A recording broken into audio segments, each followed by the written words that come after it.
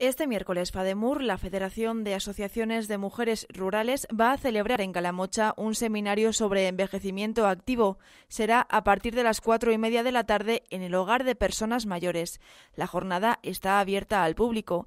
En ella, los asistentes conocerán la situación de la dependencia en la comarca del Giloca, aprenderán a prevenirla y realizarán talleres prácticos que incluyen la presentación de una aplicación móvil pensada para las personas que están en esta situación.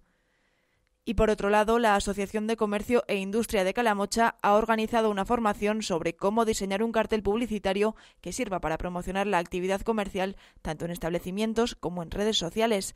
Se trata de una actividad enmarcada en el Plan de Formación Avanzada de Aragón Empresa. Se llevará a cabo de 8 a 10 de la noche en el Salón de Caja Rural de Teruel. La asistencia a ambas actividades es gratuita.